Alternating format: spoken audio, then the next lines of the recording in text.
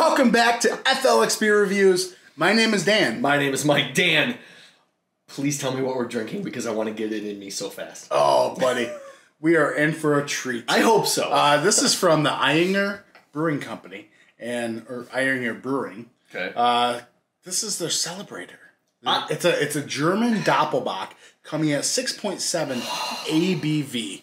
Let's let's get in there to appreciate this. So the one thing missing from this bottle, Mike, tell I'm me. gonna tell you. So usually there's a little goat. It's like a Christmas tree ornament or whatever. Where's the and, it, goat? and it hangs from there. where's the goat? Uh, somebody stole it from my bottles. that I purchased. Sons. Uh, it's- yeah, look at that. It's, just, Um, it's a classic. So how how have I never had this beer before? Because I don't even remember seeing it. Like, and it sounds like everything I want. Uh, so I, I don't understand. It- it's. I'm not even gonna say who it's brewed and bottled by. Like it's all in like German and For stuff. Yeah, yeah. Okay. Uh, it says dark, malty, and rich. Ayinger, at the foot of the Bavarian Alps, is one of the world's most respected breweries. The family owned and operated since 1878. this year after I was born. Uh, so there, there's a code. I Okay. don't know how to read it as to when it was bottled. Oh, okay. It's just Yeah, whatever. A weird thing.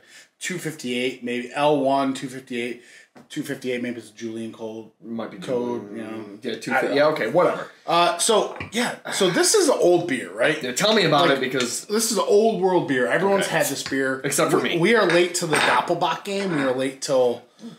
but we like games. this style. Like, it, oh look at it. Look at that.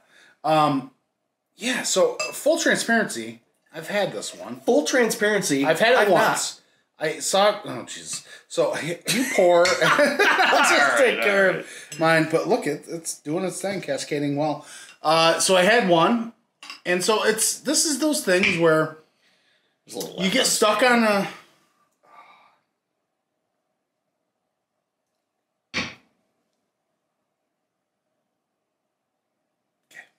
Uh, so you get stuck on you get stuck on a certain style Yeah. or in a certain wheelhouse. Uh, even the old school IPAs, like from like Lawson's and everything, Oh, we, yeah, we never yeah. tried because we were we were late bloomers to the IPA game, and now we're going back and trying all the beers everyone loved back in the day. And this falls into the category of this is some beer from you know foreign beer that we never mess with, and then I try it and I'm like, what have I been missing? This blew my socks off. I'll tell you what. Like, I feel like this is a this is a beer that we were on the cusp of getting back when, especially when I was getting into craft beer. Like when you and I first met, and we were like going up to Beers of the World, and we were buying beers like this. But then, like right when the the hazy started coming in, and, and your West Coast and meets East Coast, and we are at least I was right there, and then was like, oh, what are these new style beers? Right, coming? And I right. forgot how much you know. I love these dark, rich, Isn't that- malty beers. That's so sad. That is so sad. You used to go up there and just be so adventurous. Now it's like, where's your hazies? And that's Give me all your haze, bro. the juicier, the better. so. All right, so what- this what's this looking is- like, Mike? It, it looks cola. It's cola. Yeah, my head is absolutely. Your just- head is looks awesome. Yeah. Um, yeah, it's a cola brown. It. I mean, you hold it up to the light, and you're getting that rich red mahogany. Yeah, it's red Like- mahogany. I can see my fingers through it a little bit. Right. It's definitely. It's like a not transparent, but it's semi-transparent. Right. It, it has such a, a hearty look to it. Um, The head is your head is definitely. I mean, I've got a half a finger ahead, but it's definitely a little rocky, but it's creamy looking. Oh, it's doing the. Sea Oh, it's doing the sea Sea- turtle. Oh, look at that. Hey-o. It's just like a mountain of just like. Oh, you're being Uh, yeah, I, I need to get away from this, so let's just get away. Holy that's, that that is straight. That is opening up a bag of malt and just burying your face in it and just, just sniffing it, dude. It's like chocolate Cheerios. Oh my gosh, You ever had chocolate Cheerios? Sort of what it's like. it smells so. good. It's It is sweet. So all the toffee, caramel. You know, I've had this before once, so I'm gonna let you kind of take the reins of what you're. Okay, because because I do have a question before we go on. It is. It is. There is a rich, sweet aspect, and I think the Odie, multi like there's a, a rich, dark chocolate aspect to it. There's a hint of caramel in there. Do you notice how I have a permagrin? You got a, you got your treehouse. Is, isn't, So- so, isn't that refreshing though?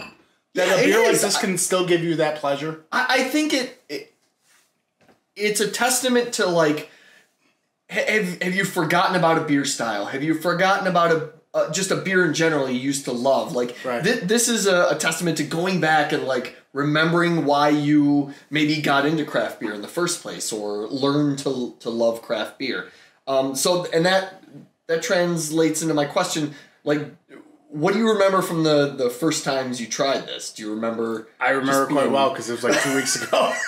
Oh shit! I thought you were talking about like no, saw it in the mix of Never mind. at Never mind. I thought Two were, weeks ago. I thought we were going back into like a decade. So I took the first sip and I'm just like, All right, never mind. I, oh, we gotta do this on the channel. We have to. I was waiting for like a ten year ago story. Never mind. Never mind. Ruined everything.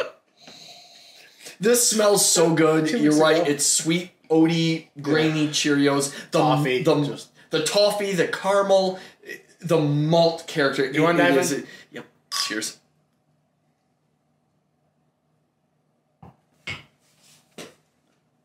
my gosh, it's so good. right? Is it not so, so, so delicious? okay. Okay. Mike, 6.7 ABV. That's a nice, constant, just not syrupy, but it's just a bit of a thicker mouthfeel It with has a slight of carbonation to rush around those beer suds in your mouth. it has the flavors of a heavy 12% stout with a lighter body and a lower ABV. And uh, I would say, I would say I get that, but I would add to it, but a sweeter, maltier. Oh yeah, yeah. Yeah, I'm not saying it's got like uh, your barrel or imperials but it- Almost it the has- sweetness and malty of like a, a a red, a red ale or like a Scotch ale.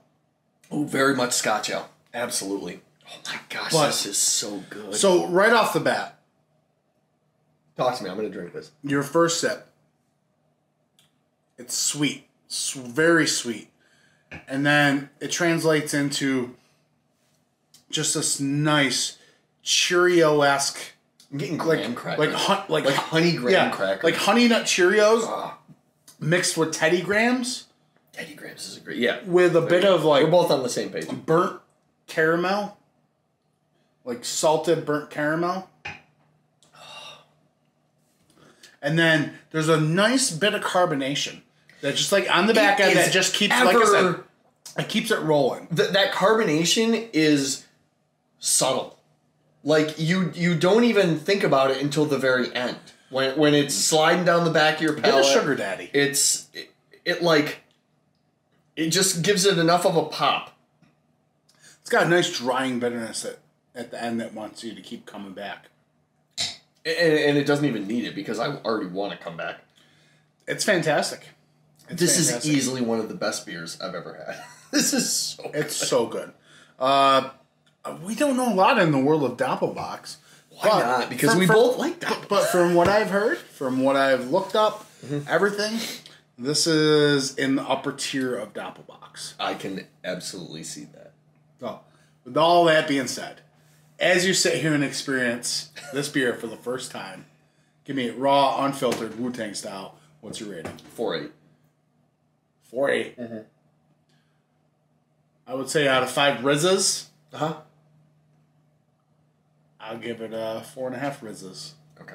I love We're this down beer. and dirty. I love it so much. son.